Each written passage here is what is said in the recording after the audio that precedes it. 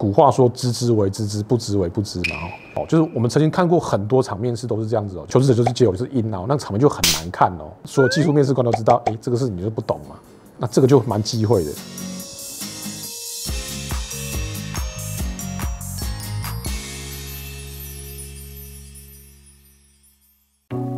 好，那第一个呢，就是他可能会写他有很多的工作经验或者是社团经验，但是他可能就是写他 A 公司实习五个月，B 公司实习三个月，然后 C 公司实习一个月，样他写了很多哈，但是其实他没有核心的工作的经验。可是你这样的写法很容易就造成面试官的误会，希望刻意营造你是一个老鸟的状况哦，根本根本不要写，可能都会比较好。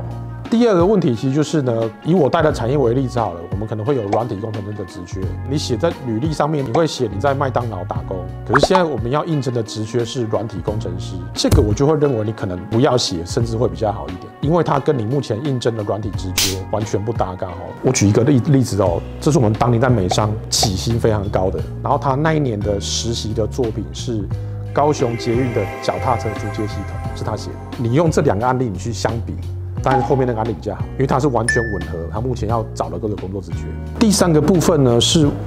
呃，我会认为新鲜人在这个阶段不要太积极进行薪资谈判。我会认为在这个阶段，对不对？应该是以厚植实力为主，先获取你自己的应该有的实力跟工作经验。你可能第三份工作再开始进行薪资谈判，你可以有比较有本事去跟。公司要这个要那个。第四点呢，很多新鲜人会自我认知良好。学校环境跟业界环境毕竟不同哦，你可能在学校作品，你会认为它可能具有一定的水准，可是，在业界的面试官的眼中的，甚至是一个四十分到三十分的作品。那这个时候如果落差太大，就会造成录取上会比较困难。第五个也是我认为非常忌讳的，就是你不要不懂装懂。尤其是在专业型的职缺哦，面试官在问你的时候呢，你可以精准回答，或是你可以告诉他你不懂，或者是说哈，你可能有摸过，但是不够专精。